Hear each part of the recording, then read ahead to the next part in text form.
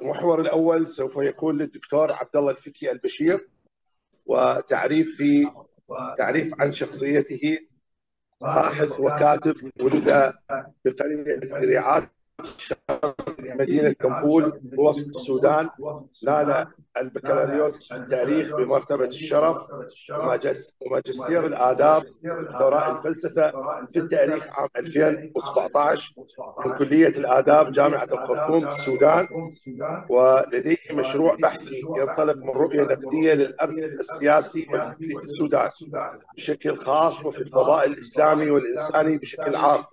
ويدعو المشروع في تأملاته للتاريخ والواقع ومتطلبات المستقبل إلى الانتقال من نقد السياسات والنتائج إلى تفكيك التصورات مراجعة الافتراضيات والمسلمات كما يسعى, يسعى المشروع في إطار انشغاله بتحديثات البيئة المكانية الجديدة التي يعيش التي يعيش فيها الإنسانية بفضل الثورة التكنولوجية والمعلوماتية والتي فرضت الحاجة تفكير جديد يتسم بالإحاطة والشمول والدقة إلى الإسهام في إعادة النظر في المفاهيم والمدلولات وإعادة توصيف العناوين واللافتات السياسية والفكرية والثقافية.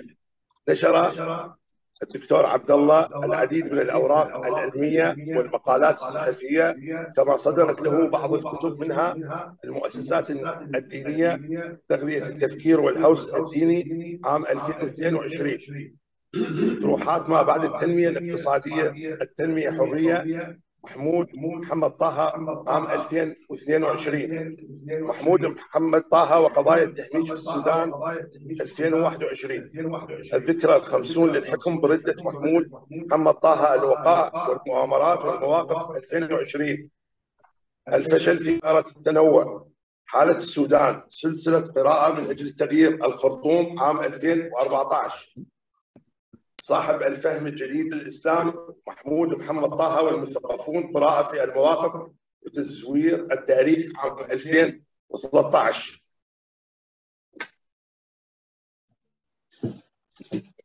يتفضل الأستاذ الدكتور عبد الله الفكي بعرض ورقته البحثية التي تحمل عنوان الفهم الجديد للإسلام الاحتفاء بالتعدد والتأصيل للتسامح.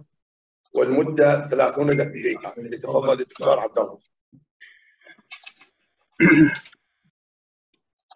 شكرا جزيلا الأستاذ الدكتور جبران اسكندر رفيق والشكر أجزله لأسرة جامعة والشكر أجزله لأسرة جامعة الأنبار على إتاحتها لهذه الفرصة وللحوار حول موضوع من أهم الموضوعات. وأشكر كذلك الصديق البروفيسور إياد ناظم جاسم على جهوده وعلى انشغاله بتيسير التواصل في الفضاء الحضاري الذي نعيش فيه. ولقد ظللت من المتابعين لإسهامات جامعة الأنبار وظلت مشغولة هي بالاعتدال في الخطاب الديني ومشغولة كذلك بقضايا التسامح ولها إسهامات كبيرة. نظمت في نوفمبر 2018 مؤتمر بعنوان الاعتدال في الخطاب الديني والسياسي وأثره في تعزيز التنمية المجتمعية وألحقته أيضا بمؤتمر في العام 22 عن الاعتدال ودوره في بناء السلام والدولة المعاصرة. وحقيقة القضايا هذه من صميم ما يجب أن ينشغل به المثقف خاصة في البيئات التعدد الثقافي كحال العراق وحال السودان وكذلك كل الدول المحيطة وفي العالم أجمع. ولكن في العراق وفي السودان هناك حاجة حقيقية للحوار عن بيئات التعدد الثقافي وحتمية التسامح. من أجل أن يتعايش الناس في سلام ويلتفتوا للبناء لينتقلوا من الصراع فيما بينهم كجماعات وثقافات إلى البناء. من الأبطال في الصراع إلى الأبطال في البناء والتنمية والنهضة. وهذا من القضايا التي تعد من صميم انشغال الجامعة ومن صميم عملها أن تفكر الحوار وتعقل هذا الحوار حول هذه القضايا المهمة. وفي هذا الإطار تأتي ورقة اليوم بعنوان الفهم الجديد للإسلام التأصيل للتسامح والاحتفاء بالتعدد. وسأحاول في هذه الورقة آه، محاصر بالوقت المحدد ولكن هذه المحاور التي تمثل هيكل الورقة سأعطي إضاءة حول التعدد الثقافي التاريخ والمفهوم الخطاب الديني وقانون الوجود وحتمية التجديد والمحور الثالث عن مفهوم التجديد الديني والمحور الرابع تحديات البيئة الإنسانية الجديدة والحاجة للتجديد الديني. سأعطي أيضا في محور لمحة عن مفهوم التسامح وآتي إلى محور عن ملامح عن الفهم الجديد للإسلام لصاحبه محمود محمد طه وكذلك سأقدم محور يتناول تأصيل التسامح في الفهم الجديد للإسلام فكرة التوحيد وإسقاط العنف وديالاتيك وديالاتيك الاستغفار. وأيضا سأتناول إذا سمح الزمن غرض التوحيد وغايته وتحقيق السلام. وأيضا هناك المحور الأخير نحو خطاب إسلامي إنساني يحتفي بالتعدد ويحتم التسامح انطلاقا من الأصول الإنسانية. طيب التعدد الثقافي التاريخ والمفهوم. متى برز مصطلح التعدد الثقافي في العالم؟ التعدد موجود في الحياة بصورة من قديم الزمان ولكن كبلورة للمصطلح ظهر ذلك غداة الحرب العالمية الثانية بعد الحرب العالمية التي انتهت في سبتمبر 1945 ويعود الفضل في ابتداع ونحت هذا المصطلح لمؤرخ وكاتب بريطاني اسمه جون فيرنيفال. جون فيرنيفال هو بريطاني الجنسية وإداري استعماري وولد في بورما آه، سابقا طبعا هي ميانمار استوحى فيرنيفال التعددية من دراساته في جنوب شرق آسيا. لاحظ إنه البلدان دي بتحتضن جماعات وافدة من الهند ومن أوروبا زايد الجماعات المحلية لها ثقافات متنوعة ومتعددة. بورما اللي هي مينمار بتقع في جنوب شرق آسيا اللي هو طبعا عاش فيها ومن خلال لاحظ تلك الملاحظة وهي بتضم مجموعات عرقية أكثر من 100 مجموعة عرقية ومجاورة للهند وبنغلاديش. ونلاحظ ميانمار نتذكر إقليم آه، كل ما نتذكر ميانمار لابد أن نتذكر آه، المسلمين الروهينجا الروهينجا الروهينجا في ميانمار أو في بورما. زاد الاهتمام بالاثنيه والتعددية بعد نهاية الستينات بعد حركة الحقوق المدنية في أمريكا بعد ما انتصرت اللي فجروها الأفارقة الأمريكان المنحدرين من أفريقيا. طبعا جو من أفريقيا وأصبحوا آه، آه، امريكي أمريكان. آه، فجروا حركة الحقوق المدنية ومعها بدأ العالم ينشغل بالاثنين والتعدد ومع مع نهاية الستينات التعدد الثقافي دخل في الدساتير ومع السبعينات دخل مثلا في دستور كندا الدستور الكندي وغيره من الدساتير. وبعد ذلك تطورت التشريعات وتطورت الاهتمام بالتعدد الثقافي وجاء إعلان اليونسكو بعد إعلانات عديدة طبعا ومواثيق في 2001 وأشار للتنوع الثقافي بوصفه مصدر للتبادل والتجديد والإبداع. وهو ضروري للجنس البشري وينبغي الاعتراف به والتأكيد على عليه لصالح الأجيال الحاضرة وفي المستقبل. هذا المصطلح يندح في القراءات العلمية وأصبح تهتم به الأكاديميات والآن أصبحت المجتمعات مع كل يوم تتكشف آه، بأنها تنطوي على تعدد في الثقافات هذا يعني تعدد في الأخيلة تعدد في الأمزجة تعدد في المياه في الميول تعدد في الأفكار تعدد في المعتقدات. ولا جدال في إنه بيئات التعدد الثقافي تحتم التسامح. يعني لابد أن نعيش في تسامح. لابد أن نتعلم كيف نتعايش في بيئات التعدد الثقافي. هذا الأمر بيفرض التجديد الديني باعتبار إنه التجديد هو معطى أساسي في مجتمعات التعدد الثقافي والدين باديان مختلفة وفي داخل كل دين هناك رؤى ومعتقدات ومذاهب كلها تكون موضع احترام. ولكن كيف نتعلم أن نتحاور عن طريق هذا الاختلاف؟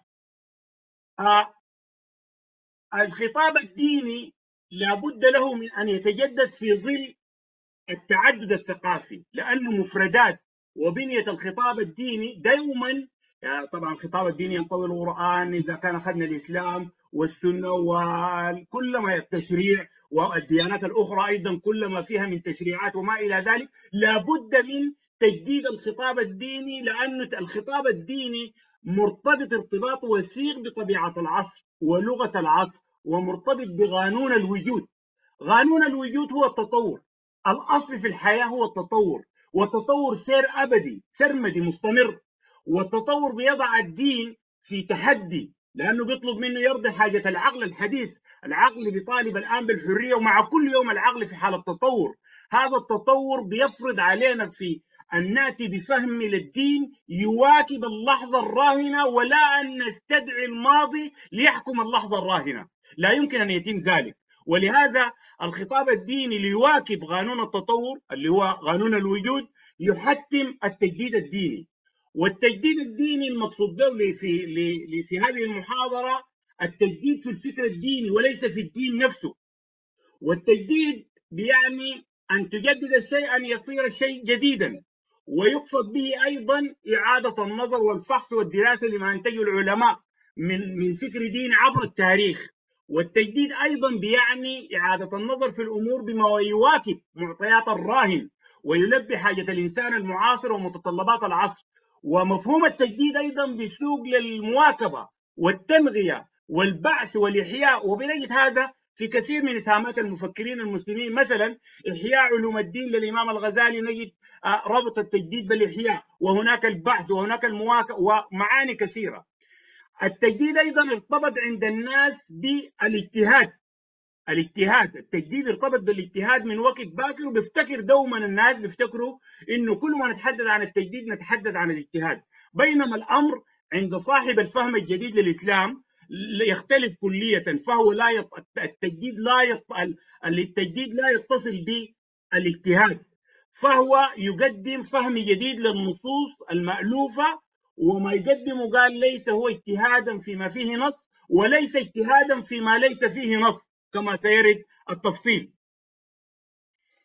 البيئة الإنسانية الجديدة بما أوجدته من طويل المسافات والثورة المعلوماتية والحياة الرقمية والجوار بين الدول بيفرض على الخطاب الديني أن يجدد بيفرض علينا التجديد الديني حتى نتعايش ليس في الإطار الجغرافي وإنما مع البيئة الإنسانية مع العالم أجمع. وأصبحت القوانين في العالم تسعى لأن تعترف بحقوق الإنسان وحريته. وبالتالي لا لا يمكن لأي خطاب ديني ذو طبيعة إقليمية جغرافية محدودة أن يتعايش مع البيئة الإنسانية الجديدة، لابد أن الخطاب يكون خطاب كوكبي، خطاب إنساني، لأنه البيئة الإنسانية الجديدة الآن اللي بنعيشها اليوم أوجدت شروط عديدة وبدأت تتجلى للناس وهي وحدة المصير المشترك. الناس في الإنسانية بدأوا يشعروا بوحدة المصير المشترك. ما يحدث من صراع في أستراليا أو في أوروبا ينعكس على الشرق الأوسط وما يحدث في الشرق الأوسط ينعكس على أمريكا اللاتينية وهكذا وحدة المصير المشترك. كورونا كانوا الناس فيها سواسية في اليابان والصين وفي السودان وفي أمريكا. وحدة المصير المشترك وحدة المصالح وحدة الشعور. دي حققتها لنا البيئة الإنسانية الجديدة. فبالتالي نحن في حاجة لمفاهيم وقيم ومصطلحات جديدة. وكذلك الآن نحتاج لنعيد النظر في الحياة التي تسير بالعلم التجريبي المادي وغاب تماما العلم التجريبي الروحي المتصل بالمعرفة بالله. ده موضوع كبير لكن ممكن مرة ثانية نتحدث أو نستجلي في النقاش. يبقى هناك حاجة لتجديد ديني يقوم على الخطاب الإنساني. الخطاب الإنساني كشرط أساسي لم تعد البيئات بيئات التعدد الثقافي في إطار جغرافي معين في حيز جغرافي معين. أصبحت البيئات الدول متجاورة فيما بين للحد الذي يجعل شروط التعايش تنعكس على واقع الناس في أوروبا وأنا في العراق أو في السودان. واصبح أصبحت البيئة الإنسانية تشترط على طارح الأفكار الدينية والثقافه وغيرها تكون أفكار ذات طبيعة إنسانية وإلا ستتكلف وستتراجع وستحاصر وسيجرى عليها ما يجرى. هل الإسلام بهذا المس... لا الإسلام عنده قابلية للتجديد قابلية للتطور قابلية للخطاب الإنساني ولكن نعجز نحن في فهم الإسلام لنبرزه كخطاب انساني كوكبي يلبي حاجة الإنسان المعاصر ومعطيات العصر وهذا هو التحدي. هل يمكن لنا أن نأتي بخطاب من داخل القرآن خطاب ذو طبيعة إنسانية يلبي حاجة الإنسان المعاصر ومتطلبات العصر؟ أيضا الأمر يتطلب مننا الحاجة لمعرفة البيئة والتصالح معها سواء البيئة الجديدة الآن أو البيئة التي عاش الإنسان معها في الماضي. وده موضوع كبير هو بيتعلق بعلاقة الإنسان بالكون اللي هي البيئة والمجتمع. لا يسع المجال للتوسيع فيه الآن لكن في رؤية شاملة له ممكن فيما بعد نتحدث لأنه موضوع كبير. لأنه من خلال معرفتنا للبيئة وتعرفنا عليها وتواؤمنا معها نستطيع أن نرجع نرجع بعقولنا وبكياننا إلى الله لنحقق العبودية لله لنرجع الحياة إلى الله وهي حياة انبتت عن السير في الاتجاه المتصل بالعلم التجريبي الروحي المتصل بالمعرفة بالله وده موضوع لا يسع المجال للخوض فيه.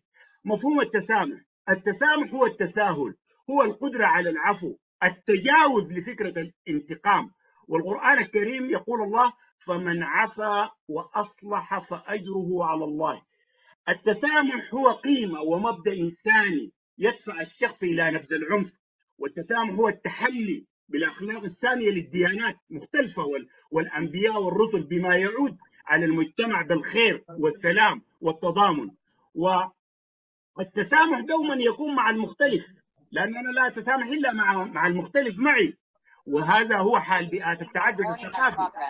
الناس الناس تعيش حاله في حالة اختلاف لأن التعدد الثقافي التعدد الثقافي ينطوي على اختلاف في المعتقدات والآراء والفهوم والأخيلة. وبالتالي أنا محتاج لأتسامح مع الذي يختلف معي في الرؤية. أحترمه وبل ليس قبول الآخر وإنما الخروج من ذاتي لمعانقة الآخر.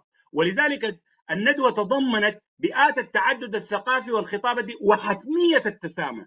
حتمية التسامح في غواميس اللغة العربية حتمية الأمر. كونه واجبا لا مفر منه وواجب لا مفر من التسامح في بيئات التعدد الثقافي. التسامح في الفهم الجديد للإسلام لصاحبه محمود محمد طه أعطي إضاءة بسيطة عن ملامح هذا المشروع. طرح الأستاذ محمود محمد طه مشروعه في عام 1951 وعبر عنه بأسماء عديدة الفكرة الجمهورية الدعوة الإسلامية الجديدة الفهم الجديد للإسلام نجد في كتاباته وأحاديثه. أهم مرتكزات هذا المشروع إنه الإسلام رسالتان. رسالة تقوم على آيات الفروع الآيات المدنية والرسالة الثانية تقوم على الآيات آيات الأصول الآيات المكية. وإن أن محمدا رسول هو رسول الرسالة الأولى وهو رسول الرسالة الثانية. وهو قد فصل الرسالة الأولى تفصيلا وأجمل الرسالة الثانية إجمالا ولا يقتضي تفصيلها إلا فهما جديدا للقرآن. الرسالتين أتى بهم النبي الكريم. وفصل الأولى في ذلك الوقت لمقتضيات وواقع الناس آنذاك في القرن السابع. والرسالة الثانية من الإسلام التي يدعو لها الأستاذ محمود والتي نبيها أتى بها النبي الكريم محمد بن عبد الله عليه أفضل الصلاة وأتم التسليم ليست جديدة. هذه الرسالة ليست جديدة فهي موجودة في القرآن وإنما الجديد عنها هو الحديث عنها. غاية مشروع الأستاذ هو إنجاب الفرد الحر حرية مطلقة ويكون إنجابه بوسيلتين. الأولى بناء المجتمع الصالح القائم على مساو... على ثلاث مساويات. المساواة السياسية والمساواة الاقتصادية والمساواة الاجتماعية إلى جانب الرأي العام السمح. والوسيلة الثانية هو برشح حياة النبي الكريم عليه أفضل الصلاة وأتم التسليم محمد الإنسان لتكون المنهاج لإنجاب ذلك الفرد.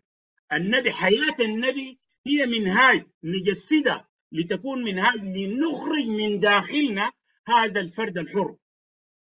ولأن يلبي الإسلام حتى يلبي حاجة الإنسان المعاصر ومعطيات العصر لابد من تطوير الشريعة الإسلامية. التطوير عند الأستاذ يقع في شريعة المعاملات عند الأستاذ محمود محمد طه ولا يقع في شريعة العبادات. وشريعة المعاملات هي تتصل بحياة الإنسان الاقتصادية والسياسية والاجتماعية وما إلى ذلك. هنا يقع التطوير لأنه لا يمكن قال أن نأخذ نستدعي الشريعة التي طبقت في القرن السابع لنطبقها اليوم في القرن الواحد والعشرين والعشرين لماذا؟ لأن الشريعة الإسلامية كانت حكيمة كل الحكمة أوانئذ في القرن السابع. ولكن اليوم إذا استدعيناها كما هي كأنما هناك هي نقص في الشريعة الإسلامية. ولكن يقول النقص ليس في الشريعة الإسلامية. النقص في العقول التي تريد أن تستدعي الشريعة من القرن السابع لتطبقها بحذافير اليوم.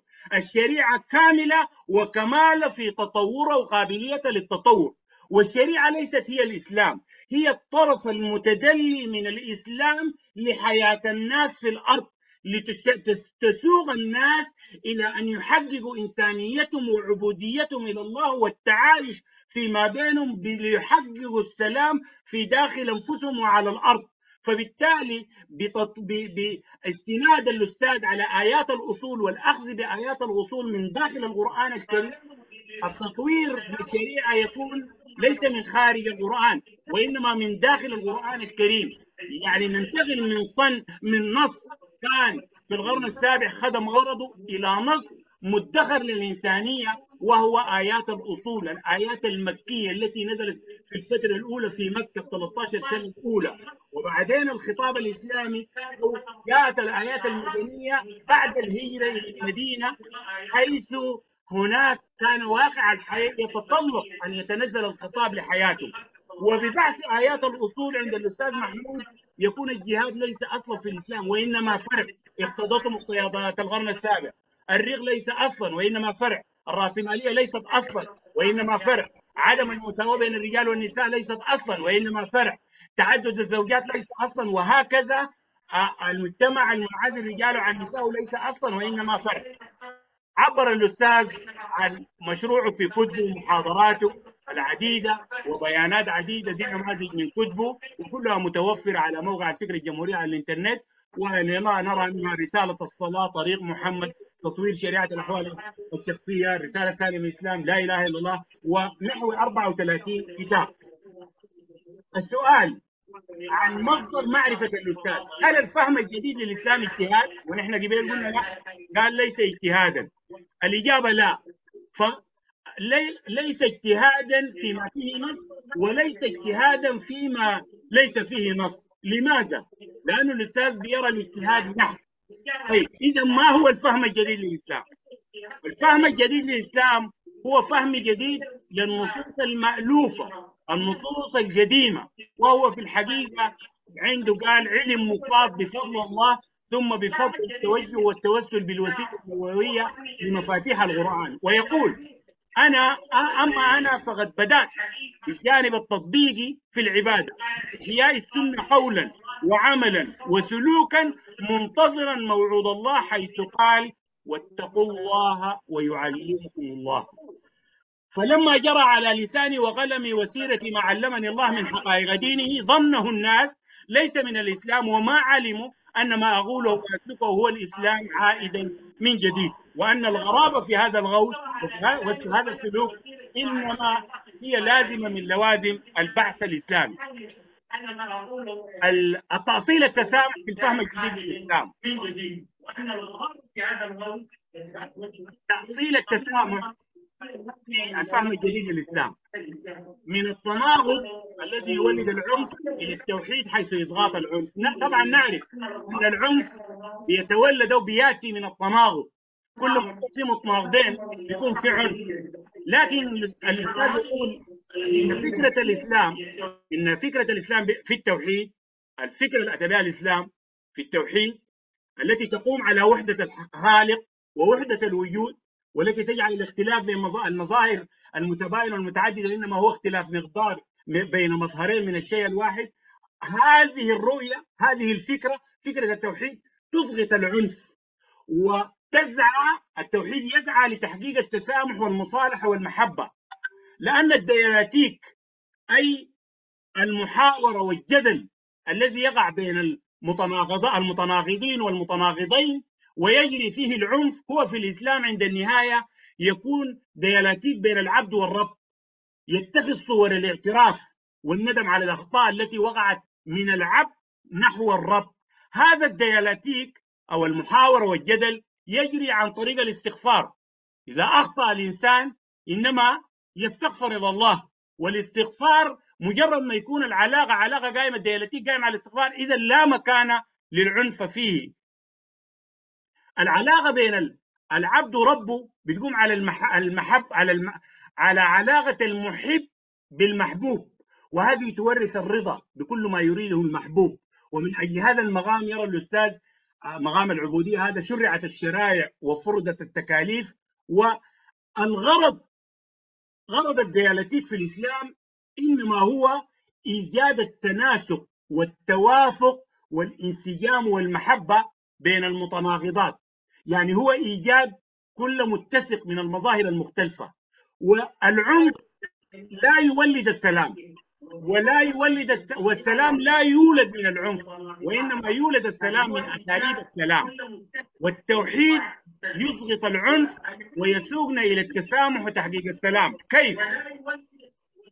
الإنسان نحن نترقى في مرحلتين. المرحلة الأولى هي الانقسام.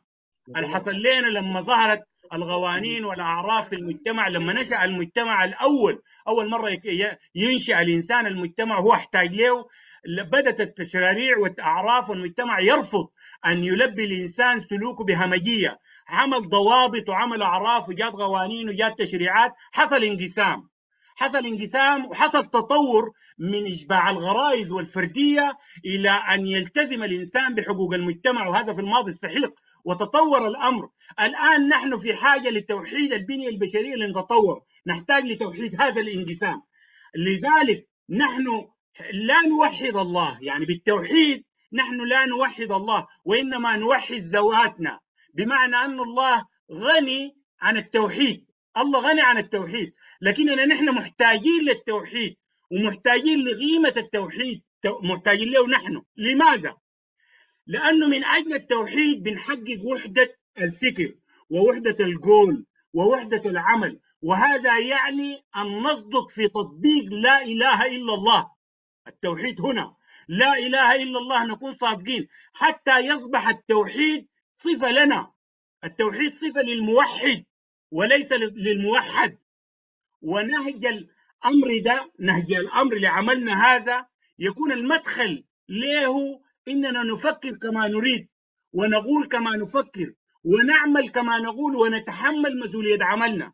ثم نجتهد في تجويد السلوك والمعاملة حتى يكون عملنا كله خير وبر بالأشياء والأحياء مما يجعلنا نسمو فوق طائلة القانون لا نحتاج لرغابة القانون المراقبة من الداخل الأخلاق من الداخل لأنه الأخلاق ليست هي الصدق والأمانة هذا ما تعرف عليه الناس. الأخلاق عند المفكر السوداني محمود محمد طه هي المسؤولية هي المسؤولية عن الحرية الفردية المطلقة اللي انت بتعيشها هي الحرية عن المسؤولية عن قولك وعملك. أمام الله وأمام الناس وأمام القانون وأمام نفسك وأمام مرآة التاريخ.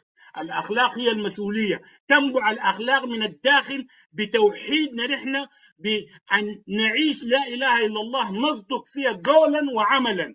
ونكون فوق طائلة القانون لنحقق غرض التوحيد. فما هو غرض التوحيد؟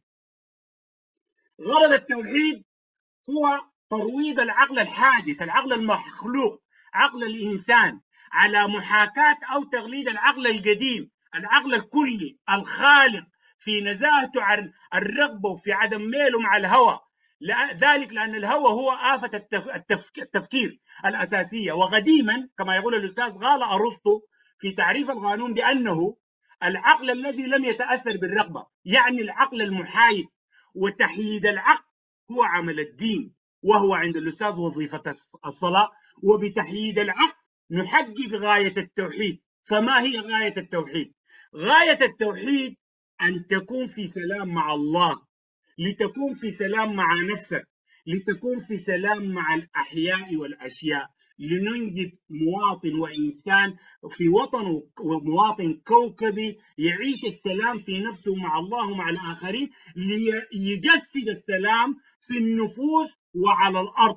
هذا هو الإنسان الذي نبحث عنه في مجتمعات التعدد الثقافي وفي مجتمعات البيئة الإنسانية الجديدة. الإنسان القادر على بأن يعيش السلام مع الله وفي نفسه ومع الآخرين من خلال التوحيد ودي غاية التوحيد.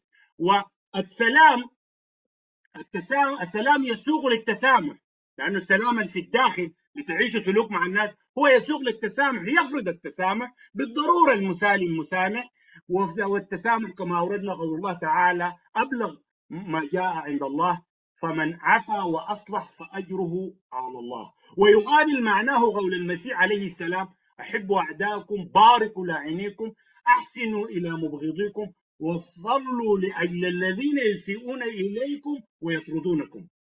نحو خطاب إسلامي إنساني يحتفي بالتعدد ويحتم التسامح انطلاقا من الأصول الإنسانية.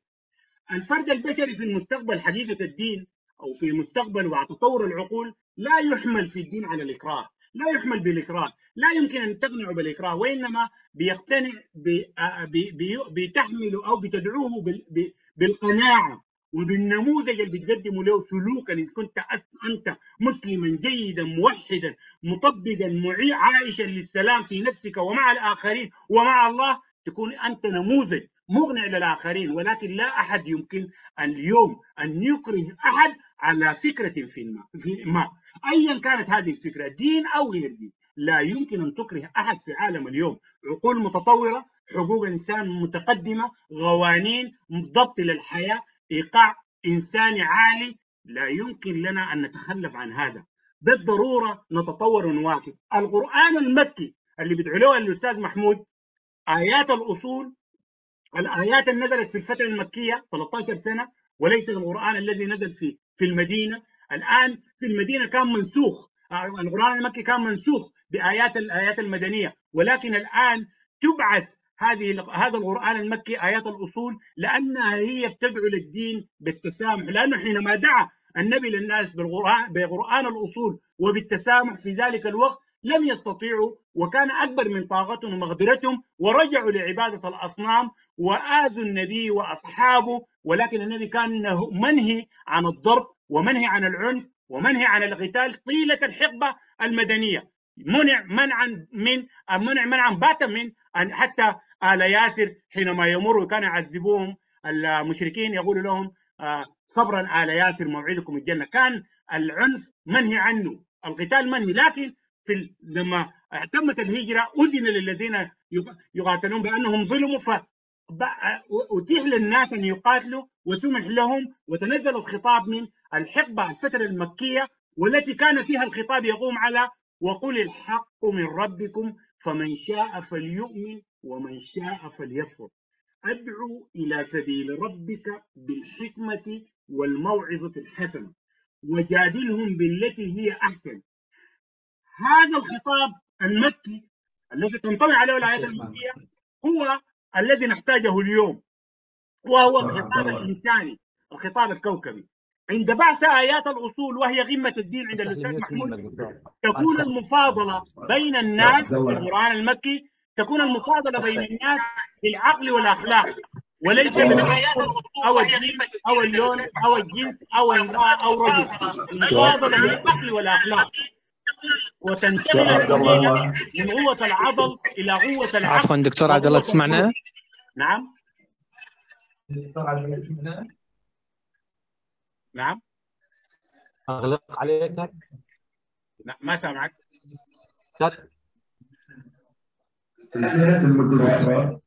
ممكن تختم. على محاضرتك انتهت المدة؟ إذا ممكن. اختصر اوجز طيب. دكتور انتهت المدة المسموح لك بها ممكن تختم المحاضرة؟ أختم حاضر. أختم بآخر محور.